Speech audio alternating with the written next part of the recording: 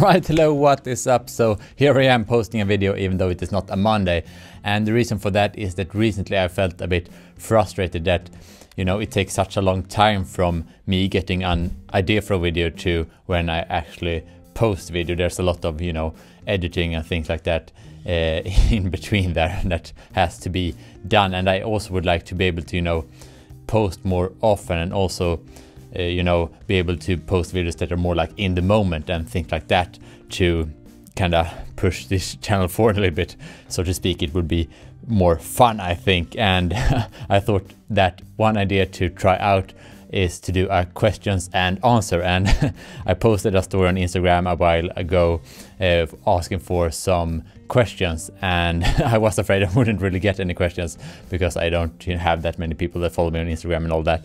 But I actually got some questions which I'm really grateful for. It's really fun. So yeah, let's get started with that. So the first question I got is the two best fuzzes for JF tone.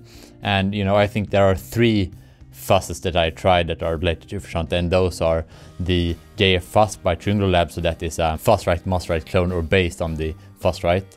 And I have the Big Muff Pi, the classic, and also the Fuzz Factory.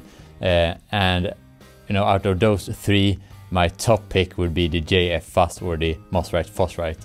Um, I think that really nails uh, some really classic and unique Frusciante tones, so I think it's really useful and I think it's a uh, you know a fuzz sound that John actively used a lot and that you can really recognize. So and it just you know it's so nice to kick that in with the DS2 sometimes to just add an extra flavor to your soloing sound. So that is definitely my top pick. And the second pick isn't as obvious to me. You know, when it comes to the Fuzzrite, I feel like that one, you know, it's fun to play with, but it feels like you don't really recognize John's Frusciante sound from that pedal too much, you know. It's not something that you really, you know, associate with his sound, so I don't find it that usable if you want JF tones, uh, but it's really fun to play around with uh, just in general, so it's still a good pedal, I think.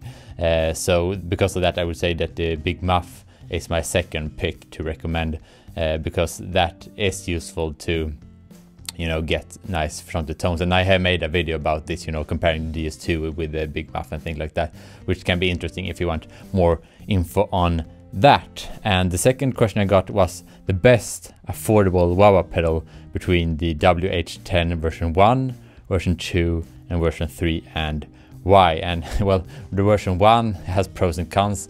Uh, it obviously would sound the closest to John's sound because that is what he used. Uh, back in the days and um, uh, it would also, I, assume, feel quite good because of its plastic enclosure, which is also its weakness because it will break on you quite easily. And the second drawback, obviously, also is the price, uh, and uh, you know it isn't that accessible to get.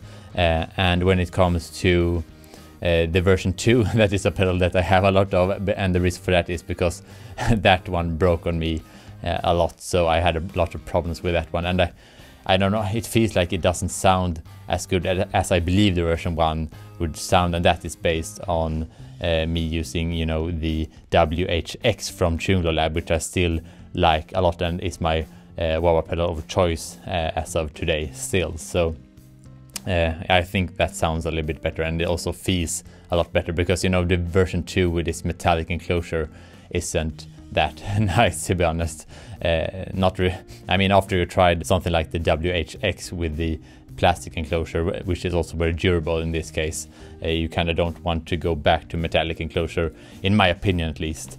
And when it comes to the version 3, I shouldn't really talk too much about that one because, well, I guess I talked about the version 1, even though I haven't tried it, which is the reason I shouldn't talk about the version 3 either. And you know, some people asked me to do a video about it, but you know, all the gears that I have shown in videos are things that I would have gotten even if, even, even if I didn't made a video about it because uh, I planned on using it, you know, for my own stuff. When it comes to the version 3, I'm not that interested in getting it because I'm so satisfied with the WHX. So the only reason for me to get it is pretty much just to evaluate it and make a video and then perhaps try to sell it, uh, which doesn't sound, you know, it feels like my channel is too small for doing uh, things like that. Um, you know, I kind of want to make videos based, you know, on things I already have and would have gotten anyway. Uh, but I guess if enough people think that is a good idea to make a video about, maybe I should consider it. So please comment on that below. And let's move on to the next question, which is, do you know clones pedals that can emulate a low pass filter, except the DL4, the Moogerfoogers from Moog and the FM4. And you know, the low pass filter effect is used for the classic Dani California verse filter effect and the throw away your television uh, solo sound effect. And you know, I can get both of these effects with the uh, low pass filter uh, from Moog, you know, the Moogerfooger low pass filter uh, in combination with the control processor, the CP251.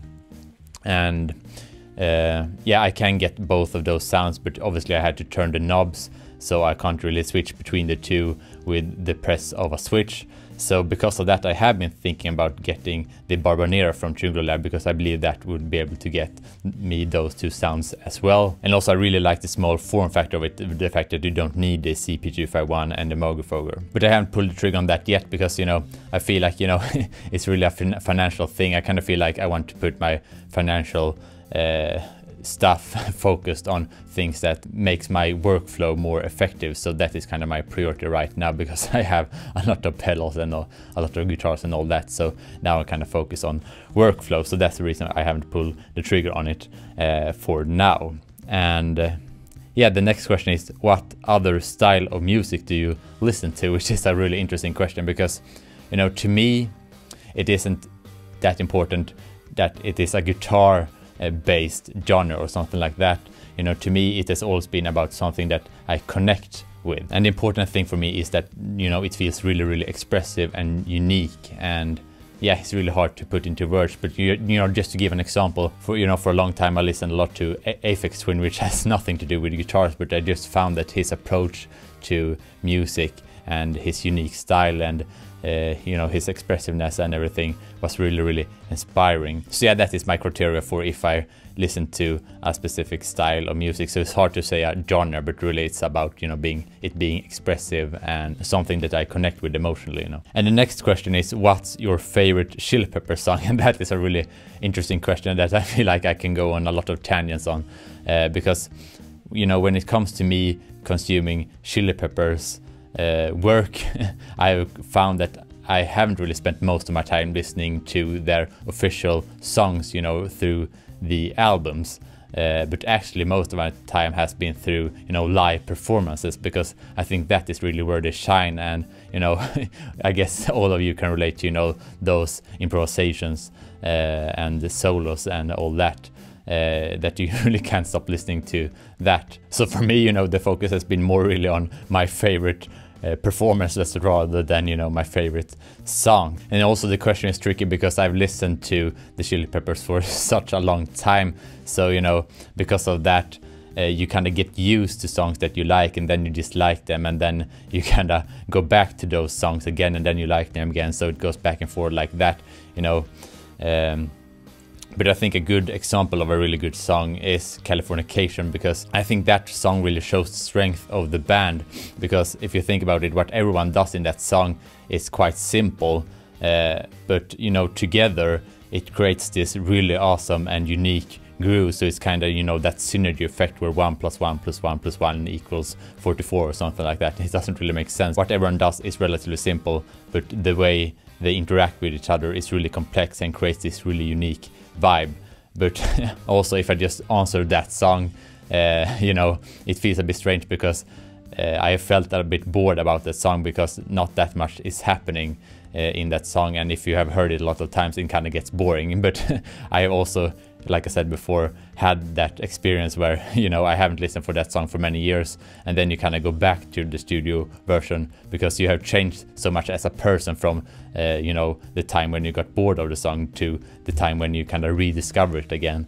So then it becomes, then you kind of listen to it with new ears and then it becomes a really good song again. So it's kind of interesting how that works. But anyway, I hope that answered that question. And the final question I thought I would answer now is Untitled 6 or Going Inside, my favorite solo track by John. And I guess the question would be which of the songs I prefer. You know, I think Untitled 6 is really cool how everything interacts in a really cool way, uh, but also a really interesting thing with going inside is that you know it is you know it creates a style that is very consistent throughout the whole album uh, in which the song is part of. So if you kind of get into the song then you have you know a lot of other songs to listen to that are you know within the same vibe which can be really nice because when you get into a groove you kind of want to continue on that groove if, if you know what i mean but with untitled 6 and that song it kind of you know if you get into that groove it's a really short song and you know the other songs isn't that similar so that can be a bit you know frustrating i don't know if that made any sense or not but because of that i would have to say uh, going inside you know it's a really really you know that whole album is you know it has such a cool sound you know really boomy and uh, loud and yeah really awesome and unique and expressive album. Right, so that is all the question I will answer for now. You know, I actually got more questions than that, which I think is really, really cool and really, really fun. But for now, I will stop it here and see, you know, what response I get to, to this little experiment, if you will. And I guess you can also leave more questions if you don't follow me on Instagram and you miss out story, you know, stories are only there for 24 hours. Uh, so, you know, it can be hard to time that. So if you want to ask another question, uh, even when I haven't posted a story about it. Uh, I guess you can look up my email on my about page. I don't think it's a good idea to post it in the description because I guess that's how you get spam and all that stuff. I guess so. Uh, yeah, look it up on my about page if you would like to ask any other questions. And yeah, I think this was really fun and uh, I'm really curious about your response and I'll see you in the next video.